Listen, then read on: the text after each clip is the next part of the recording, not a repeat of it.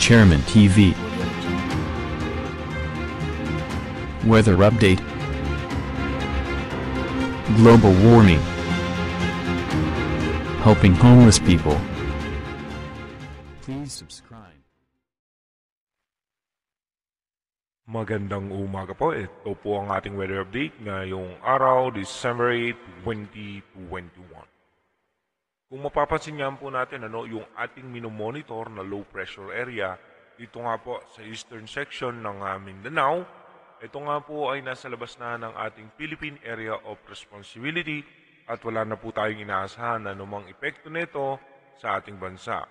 Sa ating uh, advanced weather forecast naman, meron po tayong inaasahan no, na posibleng inaasahan next week na isang uh, bagyo na papasok sa ating bansa at ayon sa ating advanced weather forecast ano, ito nga po ay uh, posibleng dito po sa area ng uh, Visayas, dadaan. Makikita po natin yan mamaya lamang po. Sa ngayon nga po ay uh, umiiral yung ating uh, northeast uh, monsoon or yung amihan sa malaking bahagi ng uh, Luzon. At kung mapapansin naman po natin, ano, apektado nga po nito ang uh, malaking bahagi ng ating uh, Luzon area. Ito nga po ang mga may uh, posibilidad no, na makaranas ng ating uh, uh, amihan. Ito nga pong uh, extreme northern Luzon ay may mga posibilidad ng mga uh, isolated rain shower.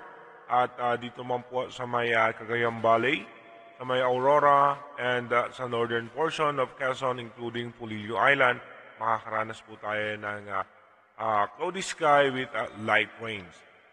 So dito naman po sa may uh, parte ng uh, Bicol region ay uh, makakaranas po tayo dyan ng biglang pagbuhos ng ulan dahil po yan ano, sa ating uh, shear line na nakaka-apekto po yan dito sa may eastern section ng uh, uh, Visayas at ng Bicol region at maging dito po no, sa may uh, Caraga ay makakaranas po tayo ng uh, biglaang pagbuhos ng pagulan dahil po sa ating shear line. At sa may Metro Manila naman po, ano, uh, apektado pa rin po tayo ng amihan, kaya makakaranas pa rin tayo dyan ng uh, magandang panahon. At uh, paminsan-minsan may uh, uh, pagbuhos ng uh, uh, pagulan dahil po yan sa ating localized uh, thunderstorm.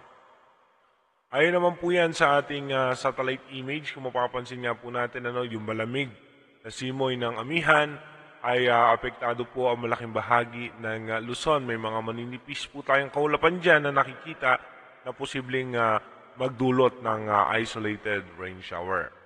At uh, kung mapapansin natin, ano, ito nga pong uh, makakapal na kaulapan na ito ay galing po yan sa ating uh, shear line na nakakaapekto po no, dito sa may uh, Mindoro province. May mga posibilidad na pag-ulan at maging dito po sa may Bicol region. Dumako naman tayo sa may uh, Visayas area, no? Kung saan nga may uh, posibilidad na mga pagbuhos ng pagulan, may mga malalakas na pagulan. Dito po yan sa may uh, Kalbayog, sa may uh, Mobo, maging dito po sa may parte no, ng uh, Catanduanes, makakaranas din po tayo dyan sa may uh, San, Fernan, uh, San Fernando, sa may uh, Rojas City, makakaranas din tayo ng biglaang pagbuhos ng pagulan. Maninipis at uh, mahinang pagulan, posibleng maranasan sa Iloilo at maging dito po sa Sagay. Dumako naman tayo sa Mindanao kung saan nga po may mga maninipis din po tayong kaulapan na posibleng uh, magdulot ng uh, biglaang mahinang pagulan, lalo po dito sa may uh, area ng Manay, sa may uh, Bislig, maging dito po sa Cotabato, sa may Davao, sa may uh, Cagayan de Oro, sa Dipolog, sa may uh, Zamboanga City, sa General Santos, sa Sarangani. Dito naman po sa may Palawan, kung saan nga po no, umaabot din yung kaulapan na ating uh, shear line, may posibilidad po ng biglaang pagbuhos ng mahinang pagulan dito po sa may Palawan. At uh, dumako na po tayo sa ating advanced weather forecast kung saan nga po may uh, posibilidad tayong nakikitang uh, potensyal na bagyo na mabubuo next week.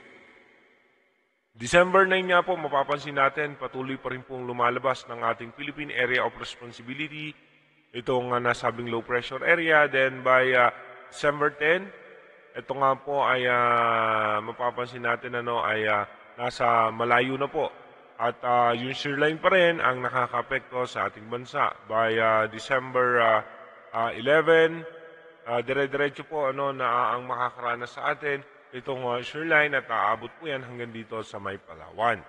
By December 12, makikita naman po natin ano, bahagyang umakyat na nga po yung ating shoreline hanggang dito po yan sa may Southern Luzon. At ah, by ah, ah, December 13, makikita natin meron tayong isang potential na low pressure area dito po sa eastern section ng Mindanao. And uh, by uh, December 14, ito nga po no, bago to uh, pumasok sa ating bansa, ito po ay magiging isang tropical depression. At pagdating nga po ng December 15, ito nga po ay uh, may posibilidad ano, na tropical storm. Dito nga po yan bago pumasok sa ating bansa. At pagsapit naman ng December 16, makapapansin nga natin ito po ay lalakas pa into severe tropical storm. At ito nga pong uh, posibleng bagyo na, na papasok sa ating uh, bansa ay uh, may posibilidad no, na magkaroon ng landfall scenario dito po sa may uh, parte ng ating uh, uh, Visayas area. Kaya iba yung pag-iingat at paghahanda na sa ating mga kababayan sa Visayas at maging dito po sa parte ng Mindanao sa posibleng bagyo na ating minomonitor. Kaya manatili po tayong nakatutok ano, dito po sa ating advanced weather forecast para po sa posibilidad ng mga pagbabago nitong nasabing uh, bagyo na ito.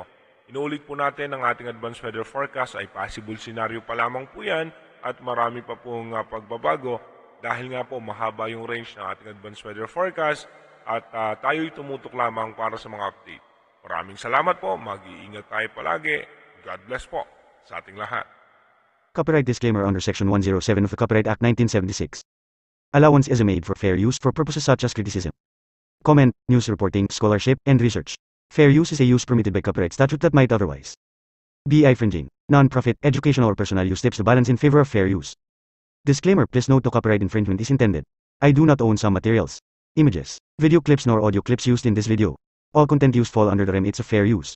If happen that someone claims their ownership of the said materials above, I will not hesitate to remove them immediately.